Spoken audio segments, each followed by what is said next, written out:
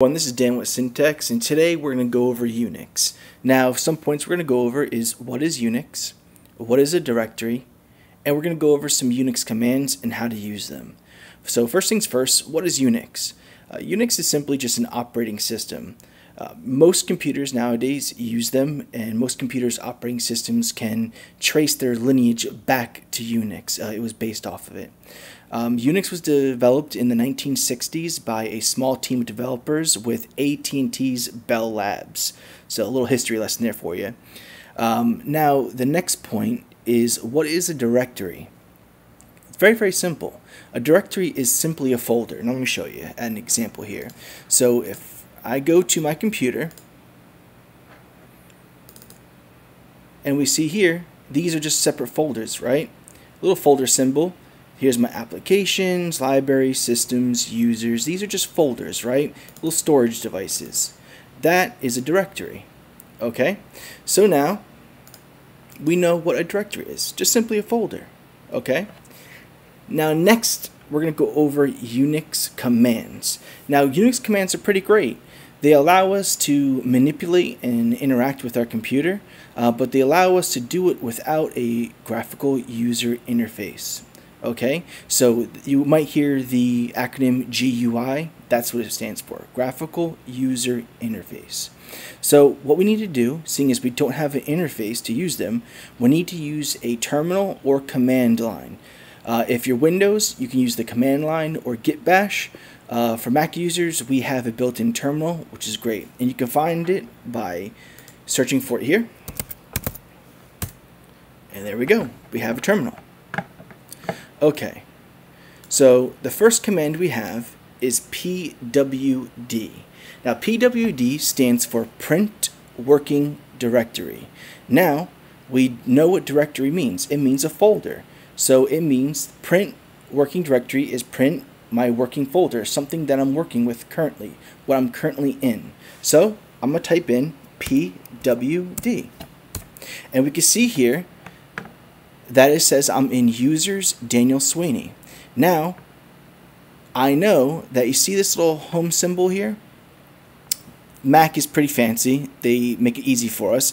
I happen to know that I'm in my working directory. Uh, I also know that it's printing out the name here as well. But always be sure to write pwd and again that is print working directory and lets me know what directory I'm currently working in. Um, and we can also see, let me show you this in side by side here. I'm going to my working directory uh, under users, my name, and here we go. I have now within my working directory. Um, so here we go. That's basically it, guys. So that's print working directory. Now, we see here that the path is under users, as it is here. And then it's under Daniel Sweeney, my name. There we go. So now I know exactly where I'm working with, and this is very important. You guys uh, will be making folders, um, maybe sometimes deleting folders. It's always best to know exactly where you're working with, right? So if I'm, let's say, I want to delete this work folder, um, I can do so. But if you start manipulating and changing things, if I was under guest maybe, I may not want to delete these things. So it's best to always know exactly where you are and what you're working with. Alright? So that's PWD. Now we have the command CD. CD stands for change directory. So let's say I am currently in, let me go back. I'm currently in my working, my uh, home directory, right? So let's say I wanted to go to, mm, let's say my, uh, we'll say my pictures, right? My pictures folder or my pictures directory. If I wanted to be inside here now, all I have to do is say CD, all lowercase, space, and spell out pictures, as you see here.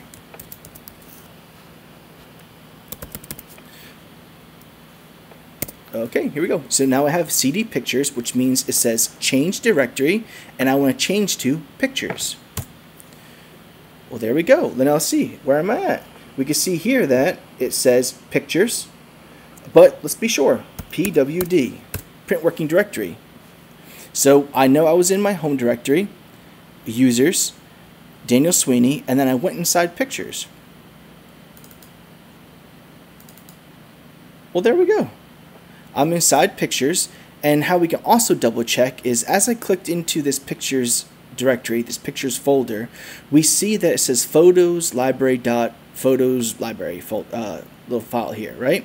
So one of the other commands is called ls. We're going to get back to this uh, tilde sign in just a second, but we're going to say ls, right? ls just gives us a list of things that are in our directory. So I can say ls and there we go. Look what came up. Photos library dot photos library. Same exact file that is here. Okay? So ls just allows us to print a list of items or things that's inside our directory that we're currently in. Now let's say I want to go back to my working directory, right? My home directory, um, which is where most of your applications, most of your tools and things will be based off of under your home directory. If I want to go back to my home directory, I can type in C, I'm sorry here, go into my terminal, I can type in CD space and then this tilde sign. This tilde symbol just means home directory. It's just one symbol that means home directory. So I don't have to type in my home directory's name. I can just simply type in this symbol and hit enter and it brings me back to my home directory. And I can check it by saying pwd. And here we go guys. My home directory. Now let's go to the next command. Let's see this. ls space hyphen la. What this is is it allows us to see a list of all files and directories, especially ones that are hidden as well. So you can see here, if I do ls, you see just these options here, right? Let me go over here. You see I have, in my working directory, I have my applications, doc, uh, downloads, uh, movies, music, pictures, public work, and I even have desktop and documents here as well right? Same, same thing as I have here. Now, watch me do ls space hyphen la. Now, a whole lot more options had just came up, right? So all these are hidden files and directories, things that aren't shown by simply typing ls. Um, why that is, is that sometimes when we hide these things uh, and the computer system does so, it's so we don't see it and really manipulate with it because it can be very harmful and damaging to our computer and our computer's operating systems and all of our tools um, by going into some of these that we have no business going into and messing with it. Um, so be sure not to go into anything or manipulate anything um, that is hidden. Uh, sometimes you might not even have access to it, but it's just better safe than sorry. Um, make sure you're only working in the visible ones here. Uh, that's just something for beginners. You guys don't need to go into anything um, over here. So let's go back. CD space tilde. Now I'm in my home directory. Let's clean this up. There's also another command called clear. So once you have kind of a lot here, if you want to clear out the terminal, you can just simply type in clear and now we have a fresh terminal, right? Now we're still in within our home directory. It didn't change our directory. It just cleared all the logs there, right? So that I'm currently looking at. So I could be sure that I'm still in my working directory by checking it out, right? I am still in my home directory. Now, we have this command here called mkdir, and it stands for make a directory, right? So we learned a directory again is just simply a folder. So we can see here, these are the folders or directories that I currently have. I want to make a new one. Let's say I want to make one called Unix. right? so I can type in mkdir space and give it a name. I'll say Unix, as I said. And there we go. I made a Unix directory. I made a Unix folder. And we can see here that it popped up right over here. So we can see that when we manipulate and we use commands, we're directly talking to the computer and be able to manipulate it as well without having to go in here and right click and making in a new folder. Right? We can create a new folder that way too, and that's with using a graphical user interface. But I was doing so through the command line, through the terminal. I didn't need this user interface. So now that we made a directory, we made a folder, let's say I, I don't want it. I want to get rid of it. We have this command, rm space hyphen rf space, and then we type in the name of what we want to delete.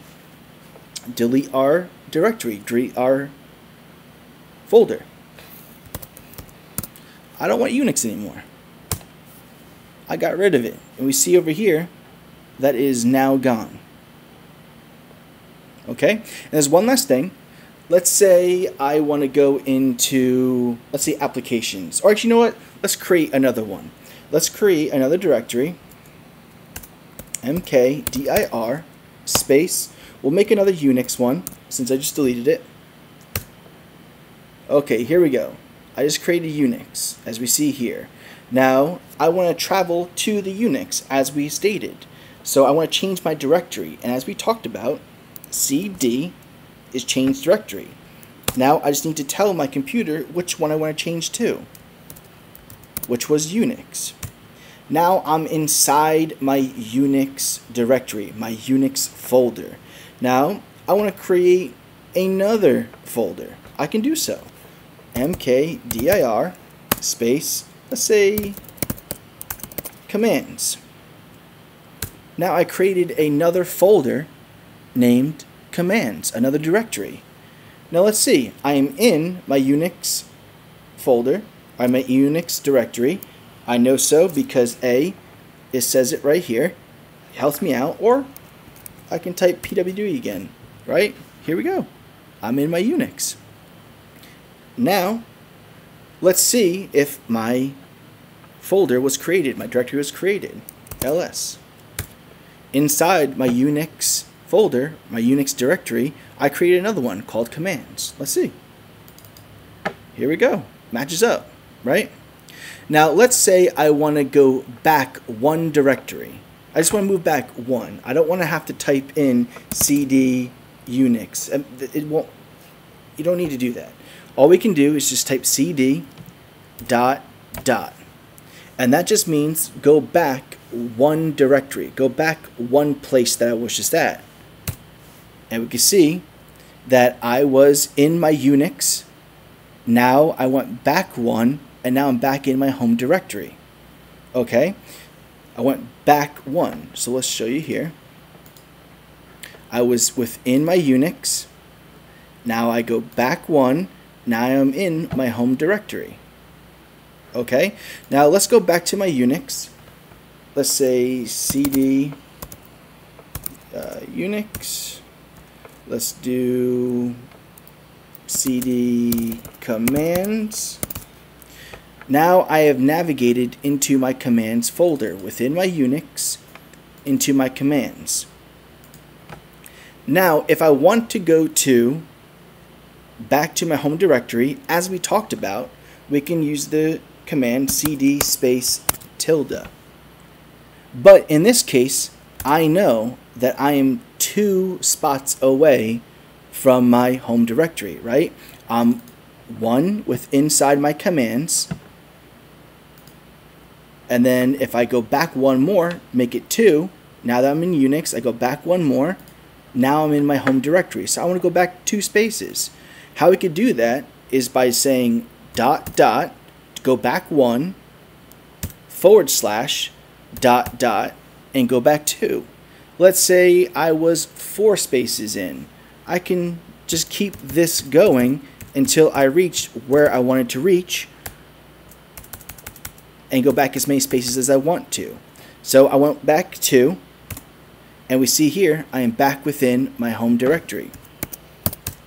Now, obviously, when you go back to your home directory is much simpler and easier and suggested to use this here. All right, so let's do a quick recap. We went over what is Unix, what is a directory, and we went over Unix commands and how to use them. pwd, print working directory.